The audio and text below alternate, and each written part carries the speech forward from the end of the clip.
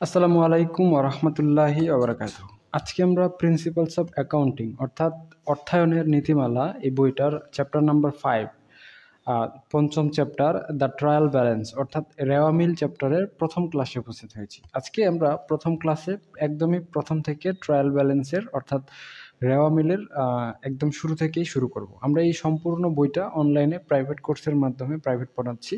যদি কেউ চান, তাহলে আমাদের অনলাইন প্রাইভেট ব্যাচ যুক্ত হতে পারেন। একদমই নামমাত্র ফি নিয়ে, ঠিক আছে?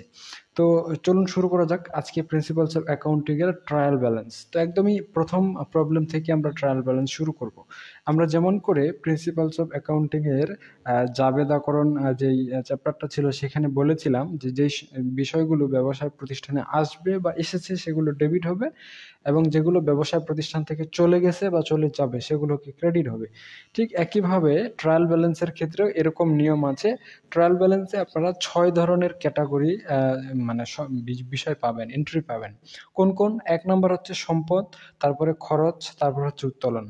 সম্পদ মানে অ্যাসেট খরচ মানে এক্সপেন্স আর উত্তোলন মানে হচ্ছে উইথড্র তো এই তিনটা বিষয় সবসময় ডেবিট হবে ট্রায়াল ব্যালেন্সের ক্ষেত্রে। শুধুমাত্র ট্রায়াল ব্যালেন্সের ক্ষেত্রে সম্পদসমূহ ডেবিট হবে, খরচসমূহ ডেবিট হবে এবং উত্তোলনসমূহ ডেবিট হবে।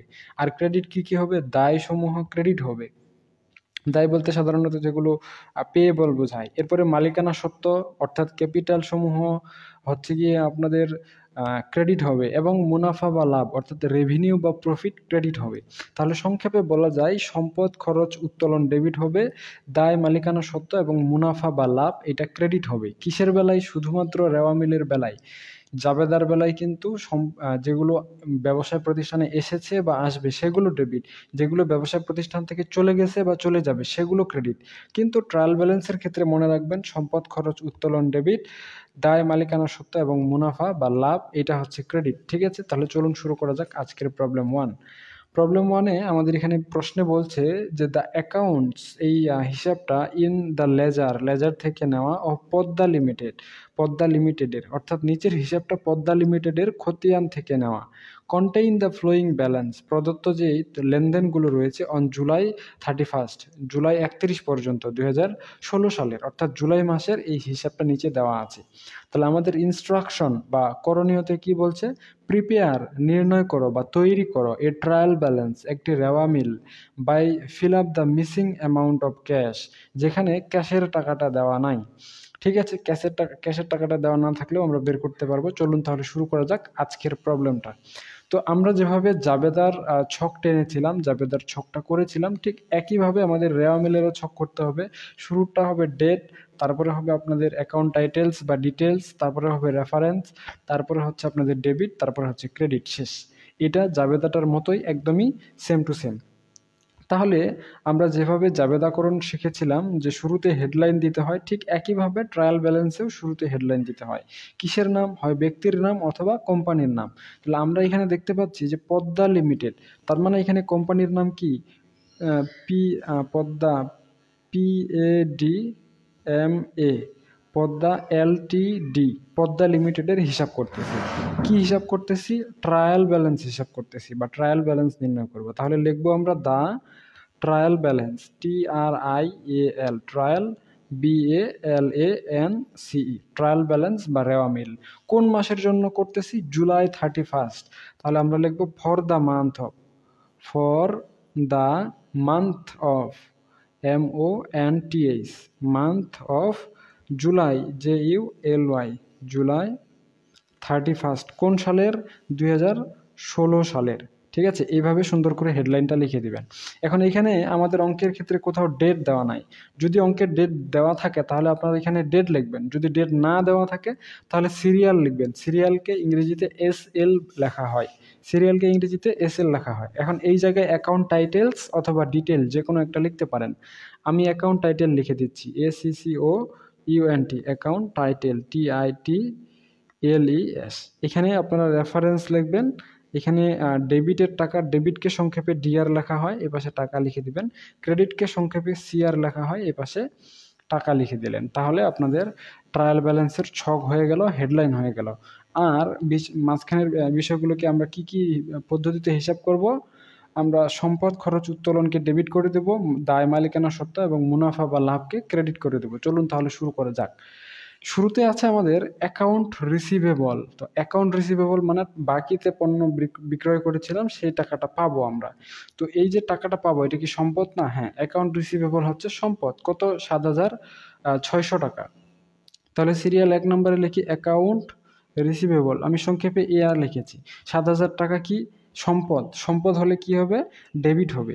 তাহলে সাত হাজার ছয়শো টাকা আমরা ডেবিট করে দিয়েছি। এরপরে দুই নম্বর বলছি অ্যাকাউন্ট পেয়েবল আমাদের কাছ থেকে টাকা পাবে। তো যদি আমাদের কাছ থেকে টাকা পায়, তাহলে সেটা কি আমাদের দায়? তাহলে দায় কি হবে? ক্রেডিট হবে। তাহলে অ্যাকাউন্ট পেয়েবল আছে কত? আট হাজার চারশো ক্রেডিট তাহলে দুই নম্বরে লিখি আমরা অ্যাকাউন্ট পেয়েবল কত? আট হাজার চারশো টাকা ক্রেডিট আচ্ছা। এরপরে কি বলছে? ক্যাশ তো ক্যাশ মানে নগদ নগদ টাকা সবসময় কি হয়? সম্পদ হয়। তাহলে নগদের এখানে কিন্তু ফাঁকা রেখে দিছে। তার মানে আমরা তিন নম্বরে C A S H cash লিখে এই জায়গায় আপাতত কিছু লিখব না, পরবর্তীতে এই হিসাবটা আমরা করব, ঠিক আছে? আচ্ছা এখন চার নম্বরে আসি। ইকুইপমেন্ট মানে যন্ত্রপাতি। ইকুইপমেন্ট যন্ত্রপাতি, এটা কি সম্পদ না খরচ? সম্পদ, তাহলে এই সম্পদটা কি হবে? ডেবিট হয়ে যাবে। আমরা জানি সম্পদ, খরচ, উত্তোলন ডেবিট দায়, মালিকানা সত্ত্ব বা লাভ বা মুনাফা ক্রেডিট হয়। ঠিক আছে? তাহলে ইকুইপমেন্ট উনচল্লিশ হাজার তিনশো টাকা। E Q U I P M E N T equipment debit হবে কারণ এটা সম্পদ। কত? উনচল্লিশ হাজার তিনশো টাকা। আচ্ছা। এর পরবর্তীতে পাঁচ নাম্বারে আমরা লিখব কি? Gas and oil expense. Expense মানে কি? খরচ। তাহলে আমরা জানি খরচগুলো সব কি হয়? ডেবিট হয়। তাহলে gas and oil oil expense, oil না অয়েল ছয়শো টাকা। G A double S gas and oil. ছয়শো টাকা, এটা কি খরচ? খরচ হলে কি হবে? ডেবিট হবে। আচ্ছা এরপরে আছে কি? Insurance expense. তাহলে ইন্স্যুরেন্স মানে বিমা এক্সপেন্স মানে খরচ। তো আমরা জানি খরচগুলো ডেবিট হয়। তাহলে ইন্স্যুরেন্স এক্সপেন্স পাঁচশো বিশ টাকা, এটা হচ্ছে আমাদের ডেবিট হবে। কেন? কারণ এটা খরচ। Insurance E X E X P insurance expense পাঁচশো বিশ টাকা কি হয়ে যাবে? সম্পদ ডেবিট হয়ে যাবে। আচ্ছা এই সামনের ঘরটা ডেবিট পরেরটা ক্রেডিট এখানে উপরে হেডলাইন লিখে দিয়েছি, আশা করা যায় বুঝতে পারবেন। আচ্ছা এরপরে বলছে নোট পেয়েবল প্রদেয় নোট যে টাকাটা দিয়ে দিতে হবে, তাহলে এটা কি দায়? তাহলে নোট পেয়েবলটা হয়ে যাবে আমাদের ক্রেডিট নোট পেয়েবল কত? আঠারো হাজার চারশো টাকা। তাহলে সাত নম্বরে আমরা লিখে দেব নোট পেয়েবল নোট পেয়েবলকে সংক্ষেপে এনপি লিখতে পারেন? কত? দেখলাম আঠারো হাজার চারশো টাকা। তাহলে নোট পেয়েবল আঠারো হাজার চারশো টাকা আমরা ক্রেডিট পাশে লিখে দিয়েছি। আচ্ছা এরপরে আছে প্রিপেইড ইন্স্যুরেন্স। ইন্স্যুরেন্স মানে হচ্ছে বিমা, ইন্স্যুরেন্সটা সাধারণত খরচ হয়, কিন্তু এখানে বলছে প্রিপেইড, অগ্রিম দিয়ে দিছে। তো যদি অগ্রিম দিয়ে দেয়, তার মানে এইটা আমাদের সম্পদ। তাহলে প্রিপেইড ইন্স্যুরেন্স সম্পদ, তো সম্পদ আমরা সবসময় কি, ডেবিট পাশে লিখি? প্রিপেইড ইন্স্যুরেন্স এক হাজার নয়শো আশি টাকা। তাহলে এইটাকে আমরা প্রিপেইড আইএনএস ইন্স্যুরেন্স, নয়শো টাকা নাকি? এক হাজার নয়শো আশি টাকা। এক হাজার নয়শো আশি টাকা, এটা আমাদের সম্পদ, কারণ অগ্রিম পরিশোধ করেছি। যত যে, যত বিষয়গুলোই, যেই বিষয়টার সামনেই প্রিপেইড লেখা থাকবে, তার মানে মনে করবেন এটা আমরা অগ্রিম মানে পেয়ে গেছি, তা ওটা আমাদের সম্পদ হিসেবে পরিগণিত হবে। আচ্ছা প্রিপেইড ইন্স্যুরেন্স আগেই দিয়ে দিছি, তার মানে এটা সম্পদ। এরপরে বলতে এসে সার্ভিস রেভিনিউ আমি কি বলেছিলাম? সম্পদ, খরচ, উত্তোলন, ডেবিট, দায়, মালিকানা সত্ত্ব, মুনাফা, ক্রেডিট। মুনাফা মানে রেভিনিউ ঠিক আছে? তো সার্ভিস রেভিনিউ কত আছে? দশ হাজার ছয়শো টাকা। সার্ভিস রেভিনিউ দশ হাজার ছয়শো টাকা হয়ে যাবে আমাদের ক্রেডিট নয় নাম্বারে। সার্ভিস রেভিনিউ আমি সংক্ষেপে লিখছি। কত হাজার সার্ভিস রেভিনিউ দশ হাজার ছয়শো। এটা কি? লাভ, তাহলে ক্রেডিট আচ্ছা ছয়শো। আচ্ছা। এরপরে আছে কি ক্যাপিটাল বা মূলধন। তো মূলধন কি? মূলধন হচ্ছে মালিকানা সত্ত্ব। তাহলে মালিকানা সত্ত্ব কি হয়? আমরা জানি মালিকানা সত্ত্ব ক্রেডিট হয়। কত? চুয়াল্লিশ হাজার ছয়শো। তাহলে দশ নম্বরে আমরা লিখব C A P I T A L capital বা মূলধন। কত? চুয়াল্লিশ হাজার ছয়শো। কত? চুয়াল্লিশ হাজার ছয়শো, কি হয়ে যাবে? ক্রেডিট হয়ে যাবে। ঠিক আছে? তাহলে পুরো বইটাতে যতগুলো আমরা এন্ট্রি ছিল, পুরো প্রশ্নটাতে সবগুলো আমরা লিখে ফেলেছি।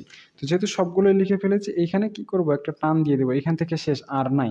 তবে একটা জিনিস খেয়াল রাখিয়েন, আপনারা ক্যাশের টাকাটা লিখেননি বা আমি ক্যাশের টাকাটা লিখিনি। যদি ক্যাশের টাকা না লিখি, তাহলে কিন্তু ট্রায়াল ব্যালেন্সটা অসম্পূর্ণ হয়ে যাবে।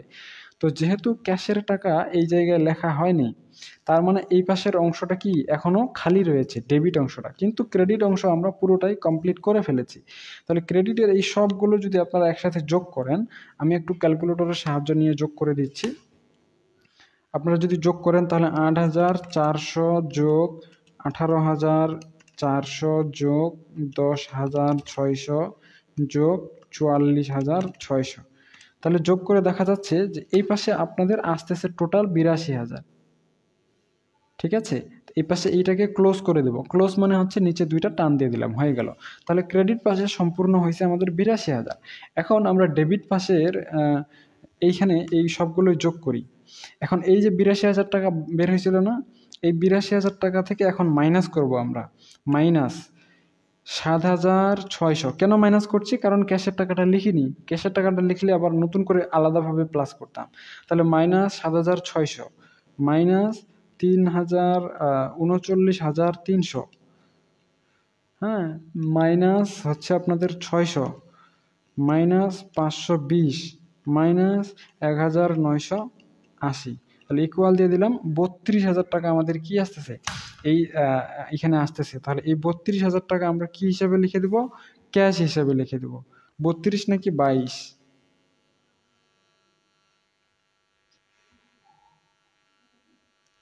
আচ্ছা বত্রিশে মনে করে লিখে দিই, বইয়ে বাইশ আছে। আমরা নতুন করে তাহলে এখন হিসাব করে দেখি টোটাল কত আসতেছে।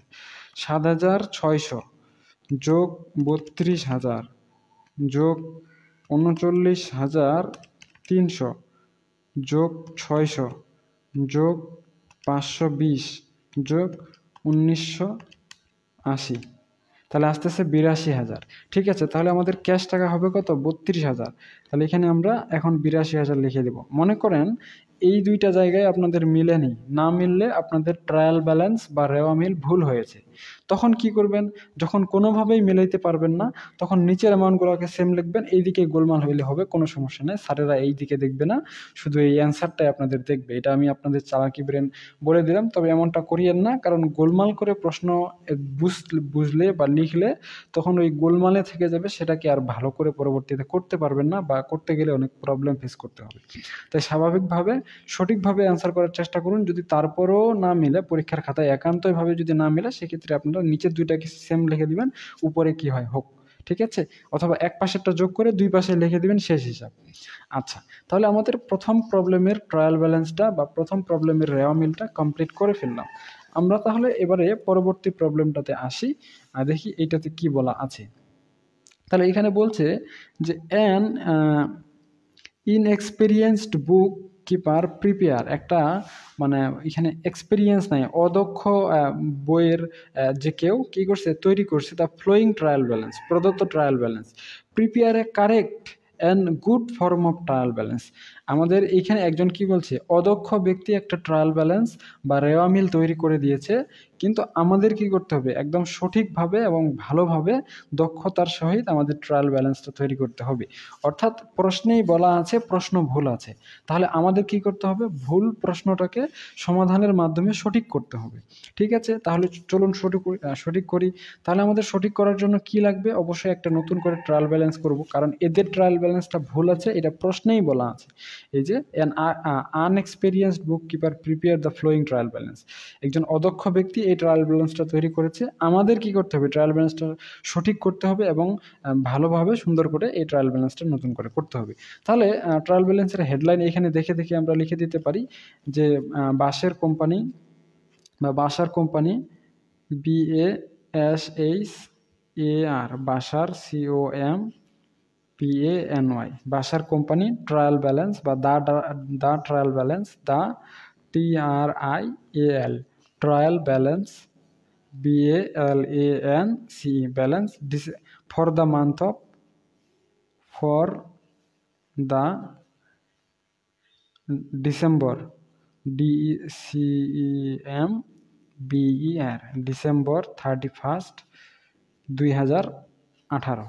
মনে করেন হেডলাইন তো সবারই ঠিক হবে, ঠিক আছে? এখন এই এন্ট্রি যে এন্ট্রিগুলো আছে, এগুলো আমি আগে থেকেই বইয়ে দেখে দেখে তুলে ফেলেছি, কারণ এগুলো লিখতে অনেক সময় যাবে। আমি শুধু ডেবিট আর ক্রেডিটের এই মানে হিসাবটা করে দিচ্ছি। আর এখানে অ্যাকাউন্ট নাম্বার তাহলে এইখানে আপনারা লিখে দিবেন ডিটেলস বা অ্যাকাউন্ট টাইটেল ঠিক আছে? আর এখানে সিরিয়াল আমার এখানে লিখতে ভুলে গেছিলাম। আচ্ছা এখন এইখানে আপনারা রেফারেন্স দিতে পারেন অথবা এখানে কি আছে? অ্যাকাউন্ট নং আছে, তাহলে এসি নং এসি নংও লিখে দিতে পারেন। আমি এসি নাম্বারটা তুলে দিচ্ছি না আপনারা এইটা দেখে দেখে তুলে দিয়েন ঠিক আছে? তাহলে এই পাশে আসতেছে আপনাদের ডেবিটের টাকা, এই পাশে আসতেছে ক্রেডিটের টাকা। তাহলে আমরা একটু দেখি যে বইয়ে এরা কীভাবে কি ভুল করছে। এখানে লিখছে যে, বাসার ড্রয়িং বাসার কি করছে? উত্তোলন করছে। কত চার হাজার পাঁচশো টাকা। তো উত্তোলন কি হয়? সাধারণত আমরা জানি যে সম্পদ খরচ উত্তোলন ডেবিট, কিন্তু এ দিয়ে দিছে ক্রেডিটে অর্থাৎ এই চার হাজার পাঁচশো টাকা চলে আসবে কোথায়? ডেবিটে চার হাজার পাঁচশো। কারণ কি? উত্তোলন ডেবিট হয়। বুঝতে পারছেন? আচ্ছা তার মানে এটা ওরা ভুল করছে। এরপর পরবর্তীতে কি হচ্ছে বাসার ক্যাপিটাল মানে মূলধন তো মূলধন কি হয়? যে দায় মালিক মূলধন মানে হচ্ছে মালিকানা সত্ত্ব। অর্থাৎ আমরা জানি দায়, মালিকানা সত্ত্ব, মুনাফা বা লাভ এগুলো হয় ক্রেডিট তাহলে এখানে কি ক্যাপিটাল ক্রেডিট করা আছে এরা? তার মানে এটা ঠিকই লেখছে তেরো হাজার টাকা। তো ক্যাপিটালের জায়গায় আমরা তেরো হাজার টাকা ঠিক ঠিক লিখে দিয়েছি। আচ্ছা এরপরে আর কি আছে সার্ভিস রেভিনিউ তো আমরা কি জানি যে মুনাফা বা লাভ কি হয়? ক্রেডিট হয়। এরা কি লিখছে? ক্রেডিটে লিখছে। তার মানে ঠিকই লিখছে। পঁচিশ হাজার ছয়শো টাকা। তাহলে এই যে সার্ভিস রেভিনিউ আমরা এখানে হচ্ছে পঁচিশ হাজার ছয়শো টাকা। আচ্ছা এরপরে আর কি আছে? স্যালারি এক্সপেন্স তো স্যালারি এক্সপেন্স এক্সপেন্স মানে খরচ, আমরা জানি যে সম্পদ, খরচ, উত্তোলন ডেবিট তাহলে এখানে আঠারো হাজার ছয়শো টাকা হচ্ছে আমাদের ডেবিট এরাও ডেবিট লিখছে, ঠিক আছে, তাহলে এটা ঠিক আছে। এই যে স্যালারি এক্সপেন্স আঠারো হাজার ছয়শো টাকা। আচ্ছা এরপরে আর কি লিখছে? আর্ন রেভিনিউ অনুপার্জিত আয়। এই অনুপার্জিত আয় মানে এই আয়টা এখনও উপার্জিত হয়নি। তার মানে এটা কি আমাদের দায়? তো দায় কি কোন পাশে হয়? দায় হয় আমাদের ক্রেডিট পাশে। কিন্তু এরা লিখছে ডেবিট পাশে। তার মানে এই দায়টাকে আমরা ক্রেডিট পাশে বিয়াল্লিশশো টাকা লিখে দেবো। আর্ন রেভিনিউ বিয়াল্লিশশো টাকা আমরা ক্রেডিট পাশে লিখে দেবো। কেন? কারণ আর্ন রেভিনিউ অনুপার্জিত আয়টা এখনও উপার্জিত হয়নি। তার মানে এটা কি আছে? দায় অবস্থায় আছে। এটা আমাদের এখনও সম্পদ নয়। ঠিক আছে? আচ্ছা অনুপার্জিত আয় বিয়াল্লিশশো টাকা ক্রেডিট হয়ে যাবে। এরপরে আর কি আছে? দেখেন অ্যাকাউন্ট পেয়েবল প্রদেয় হিসাব। তাহলে অ্যাকাউন্ট পেয়েবল এটা কি দায়? দায় কোন পাশে হয়? ক্রেডিট পাশে হয়। এরা কোন পাশে লেখছে? ক্রেডিট পাশেই লেখছে, তিন হাজার টাকা। তাহলে আমরাও তিন হাজার টাকা লিখে দেবো, কারণ অ্যাকাউন্ট পেয়েবল দায়, দায়টা হয় ক্রেডিট পাশে। আচ্ছা এরপরে কি আছে? র্যান্ট এক্সপেন্স ভাড়া খরচ। তো আমরা জানি সকল প্রকার খরচ, অর্থাৎ সম্পদ, খরচ, উত্তোলন ডেবিট হয়। কিন্তু এরা কী করছে? এটাকে ক্রেডিট করে দিছে। অর্থাৎ আমরা এটাকে ডেবিট লিখব কত? চব্বিশশো টাকা। এই যে র্যান্ট এক্সপেন্স চব্বিশশো টাকা হয়ে যাবে ডেবিট কেন? কারণ সম্পদ, খরচ, উত্তোলন হয়ে যায় ডেবিট আচ্ছা। এরপরে আর কি আছে? প্রিপেইড ইন্স্যুরেন্স অগ্রিম বিমা দিয়ে দিছি। তা এটা কি আমাদের সম্পদ? তাহলে সম্পদ কোন পাশে হয়? ডেবিট পাশে হয়। এরা কোন পাশে দিছে? ক্রেডিট পাশে দিছে। তাহলে এটাকে আমরা কি করব? ডেবিট পাশে করে দেবো। কত টাকা? পঁয়ত্রিশশো টাকা। তাহলে পঁয়ত্রিশশো টাকা আমরা কি করে দিল? প্রিপেড ইন্স্যুরেন্স হিসেবে ডেবিট করে দিছি। আচ্ছা আর কি আছে? ক্যাশ। তো আমরা জানি ক্যাশ ডেবিট হয়, এরাও ডেবিট করছে ষোলো হাজার আটশো। তাহলে ক্যাশটা ঠিকই আছে এদের ষোলো হাজার আটশো টাকায় হচ্ছে। এখন এই সবগুলোই যোগ দেন, যোগ দিলেই আপনারা পেয়ে যাবেন। তো এখানে যেহেতু কোনো মিসিং এন্ট্রি নাই, আগের অঙ্কটাতে আমাদের মিসিং এন্ট্রি ছিল, আগের অঙ্কটাতে আমাদের মিসিং এন্ট্রি ছিল, তাই আমরা দুইভাবে যোগ করেছিলাম। এখানে আমাদের কোনো মিসিং এন্ট্রি নাই, আমরা সরাসরি যোগটা করে দেব। আর কে কোন জেলা থেকে শুনছেন, এটা অবশ্যই কমেন্ট সেকশনে লিখতে পারেন। আমি বলছি পঞ্চগড় জেলা থেকে। আমরা মোটামুটি চৌষট্টিটা জেলা এ পর্যন্ত কাভার করে ফেলছি। ইনশাল্লাহ আমরা সবগুলো জেলা থেকেই আমাদের স্টুডেন্টরা কেউ না কেউ দেখছে। চলুন শুরু করা যাক আজকের হিসাবটা। তাহলে পঁয়তাল্লিশশো, আঠারো হাজার ছয়শো যোগ চব্বিশশো, যোগ পঁয়ত্রিশশো পঁয়ত্রিশশো যোগ ষোলো হাজার আটশো। তাহলে আসতেছে পঁয়তাল্লিশ হাজার আটশো টাকা। হ্যাঁ তাহলে এরা কত করছে? পঁয়তাল্লিশ হাজার আটশো আসছে এদেরও। ঠিক আছে, পঁয়তাল্লিশ হাজার আটশো। তাহলে এই পাশের হিসাবটা একটু চালু যোগ করে দেখি। আচ্ছা আর ক্লাসটা আপনাদের ভালো লাগছে কিনা অবশ্যই কমেন্ট সেকশনে জানাতে পারেন। তেরো হাজার যোগ পঁচিশ হাজার ছয়শো যোগ চার হাজার দুইশো যোগ, আর কোনো প্রশ্ন থাকলে অবশ্যই কমেন্ট সেকশনে করতে পারেন। আমরা আপনাদের পঁয়তাল্লিশ হাজার আটশোয় আসছে। অর্থাৎ দুই পাশে আমাদের কি হয়েছে? মিলে গেছে। যদি মিলে যায়, তাহলে মনে করবেন আপনার অঙ্ক ঠিক হয়েছে। যদি না মিলে, তাহলে মনে করবেন আপনার অঙ্ক ভুল গেছে, আপনাদের এন্ট্রিগুলো মানে হয়তো বা গোলমাল হয়েছে। ঠিক আছে? তো প্রবলেম নাম্বার টু আমরা করে ফেললাম। এখন আসি প্রবলেম নাম্বার থ্রি এভাবেই সম্পূর্ণ বইটা আমরা প্রাইভেট কোর্সের মাধ্যমে সম্পূর্ণ বইটাই করিয়ে দিচ্ছে। আপনারা যদি কেউ চান, তাহলে আমাদের প্রাইভেট ব্যাচ যুক্ত হতে পারেন। ঠিক আছে? তো আজকে প্রবলেম থিরিটাতে আসি আমরা। প্রবলেম থিরিতে কি বলছে? প্রবলেম থিরিতে বলছে the following accounts are taken প্রদত্ত লেনদেনগুলো নেওয়া হয়েছে from the ledger of S G company S G কোম্পানির খতিয়ান থেকে at December thirty first December একত্রিশ, দুই সালে। ঠিক আছে, এখানে অনেক কিছুই লিখে এখন বলছে কি প্রিপেয়ার তৈরি করো এ ট্রায়াল ব্যালেন্স একটি রেওয়া মিল ইন গুড ফর্ম এক, একদম ভালোভাবে, সুন্দর করে। তাহলে আমরা এখানে শুরু করি প্রবলেম নাম্বার থ্রি আমরা জানি কোম্পানির নাম দেব, তাহলে এখানে এস জি কোম্পানি আছে, তাহলে এস জি কোম্পানি আমরা লিখে দিচ্ছি। S G company C O M P A N Y company কী করব আমরা? ট্রায়াল ব্যালেন্স নির্ণয় করব। তাহলে লিখে দিব the T R I A L trial balance B A L A N C E the trial balance for the year ended for the December thirty first থাকলে লিখে দেবেন for the year ended Y E A R year E N D E D অথবা for the month of এভাবেও লিখতে পারেন। For the year ended December D E C December thirty first দুই হাজার এগারো। ঠিক আছে, তাহলে হেডলাইন দিয়ে দিচ্ছি, আমরা অ্যাকাউন্ট টাইটেল সিরিয়াল লিখে দেবো, এখানে রেফারেন্স লিখে দিচ্ছি, এখানে ডেবিট আর এই পাশে হচ্ছে আমাদের ক্রেডিট আচ্ছা তো এখন তাহলে আমরা দেখব কি কি আছে। ইকুইপমেন্ট ইকুইপমেন্ট মানে কি? যন্ত্রপাতি বা সরঞ্জাম, তাহলে ইকুইপমেন্ট কি? সম্পদ সম্পদ হলে হয়ে যাবে ডেবিট কত হাজার? অষ্টআশি হাজার। তাহলে এই ডেবিট পাশে আমরা লিখে দিচ্ছি অষ্টআশি হাজার। আচ্ছা এরপরে আর কি আছে? ড্রয়িংস উত্তোলন। উত্তোলন কি হয়? আমরা জানি সম্পদ, খরচ, উত্তোলন ডেবিট হয়। তাহলে এইখানে আট হাজার টাকা, এই যে ড্রয়িং এটাও আবার কি হয়ে যাবে? ডেবিট হয়ে যাবে। আচ্ছা এরপরে আছে অ্যাকাউন্ট পেয়েবল মানে প্রদেয় হিসাব। তো অ্যাকাউন্ট পেয়েবল এটা হচ্ছে আমাদের দায়। আমরা জানি দায়, মালিকানা সত্ত্ব মুনাফা বা লাভ, এটা হয়ে যায় ক্রেডিট তাহলে বাইশ হাজার টাকা হয়ে যাবে আমাদের ক্রেডিট এই যে অ্যাকাউন্ট পেয়েবল এই পাশে অ্যাকাউন্ট পেয়েবল তাহলে এটা বাইশ হাজার বাইশ হাজার নাকি? বাইশ হাজার টাকা হয়ে যাবে আমাদের ক্রেডিট কারণ এটা একটা দায়। আচ্ছা এরপরে হচ্ছে স্যালারি এক্সপেন্স আমরা জানি খরচ, সম্পদ, উত্তোলন ডেবিট হয়। তো স্যালারি এক্সপেন্স দুই হাজার টাকা, এটা খরচ, তাহলে ডেবিট হয়ে যাবে দুই হাজার টাকা। আচ্ছা এরপরে হচ্ছে অ্যাকাউন্ট রিসিভেবল প্রাপ্য হিসাব, ঠিক আছে? তাহলে অ্যাকাউন্ট রিসিভ করব আমরা, এটা কি সম্পদ? সম্পদগুলো কোথায় লিখতে হয়? ডেবিটে লিখতে হয়। কত হাজার? চল্লিশ হাজার। অ্যাকাউন্ট রিসিভেবল চল্লিশ নাকি? না, চুয়াল্লিশ হাজার সরি চুয়াল্লিশ হাজার কি অ্যাকাউন্ট রিসিভেবল ডেবিট হয়ে যাবে। আচ্ছা এরপরে আছে কি সার্ভিস রেভিনিউ তো সার্ভিস রেভিনিউটা কি? লাভ বা মুনাফা? মুনাফা কি হয়? ক্রেডিট হয়। তাহলে পঁচানব্বই হাজার টাকা সার্ভিস রেভিনিউ হিসেবে আমরা ক্রেডিট লিখে দিচ্ছি। পঁচানব্বই হাজার। আর কি আছে এখানে? ক্যাপিটাল মূলধন। মূলধন মানে কি? মালিকানা সত্ত্ব মালিকানা সত্ত্ব কি হয়? ক্রেডিট হয়। বিশ হাজার টাকা। তাহলে ক্যাপিটাল মূলধন, মালিকানা সত্ত্ব বিশ হাজার টাকা আমরা এখানে ক্রেডিট পাশে লিখে দিয়েছি। আচ্ছা এরপরে আছে কি? নোট পেয়েবল প্রদেয় নোট তাহলে নোট পেয়েবলটা কি? দায় দায় কি হয়? ক্রেডিট হয় কত হাজার? উনিশ হাজার। তাহলে নোট পেয়েবল উনিশ হাজার হয়ে যাবে আপনাদের ক্রেডিট আচ্ছা এরপরে আর কি আছে? স্যালারি পেয়েবল প্রদেয় স্যালারি এই স্যালারিটা এখনও দেওয়া হয়নি। তার মানে এটা আমাদের দায়। যদি দায় হয় তাহলে কি হবে? ক্রেডিট হবে। দুই হাজার টাকা আবারও ক্রেডিট লিখে দেব। আচ্ছা এর পরবর্তীতে কি আছে? ইন্স্যুরেন্স এক্সপেন্স বিমা খরচ। আমরা জানি সম্পদ, খরচ, উত্তোলন ডেবিট হয়। তাহলে এখানে এই খরচটা কি হয়ে যাবে? ডেবিট হয়ে যাবে। কত? তিন হাজার। তাহলে ইন্স্যুরেন্স এক্সপেন্স তিন হাজার টাকা হয়ে যাবে আপনাদের ডেবিট আচ্ছা। আর কি আছে? যে প্রিপেইড ইন্স্যুরেন্স অগ্রিম ইন্স্যুরেন্স দিয়ে দিচ্ছে এটাও কি সম্পদ? তো সম্পদ, খরচ, দায়।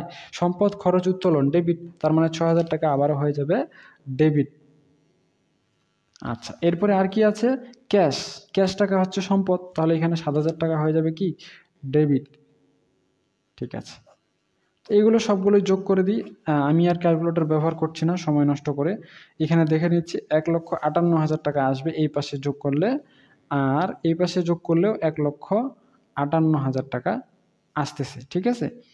তো আশা করা যায় এই ক্লাসটা আপনাদের ভালো লেগেছে ভালো লেগেছে কিনা বা আপনারা পরবর্তীতে কোন সাবজেক্টের বা কোন চ্যাপ্টারের ক্লাস চান সেটাও লিখে জানাতে পারেন এবং আপনারা যদি কেউ চান তাহলে আমাদের প্রাইভেট ব্যাচে যুক্ত হতে পারেন, প্রাইভেট ব্যাচ যুক্ত করার জন্য, যুক্ত হওয়ার জন্য কমেন্ট সেকশনে কমেন্ট করতে পারেন আর এই নাম্বারে চাইলে হোয়াটসঅ্যাপ বা কল করতে পারেন যে কোনো সময় আমরা আপনাদের প্রাইভেট কোর্স সম্পর্কিত বিষয়গুলো জানার থাকলে এখানে বলে দেব। আর আপনারা কে কোন জেলা থেকে শুনছেন এটাও কমেন্ট সেকশনে জানান। আর ঠিক আছে, কোনো সমস্যা থাকলে বা কোনো প্রশ্ন জিজ্ঞাসা করার থাকলে অবশ্যই কমেন্ট সেকশনে কমেন্ট করে লিখতে লিখতে পারেন। ঠিক আছে, আজকে পর্যন্তই। পরবর্তীতে আমরা গতকালকেও আই মিন আগামীকালকেও এই সময়ে লাইভ ক্লাস অনুষ্ঠিত করব। সেই লাইভ ক্লাস দেখার আমন্ত্রণ জানিয়ে খুদা হাফিজ।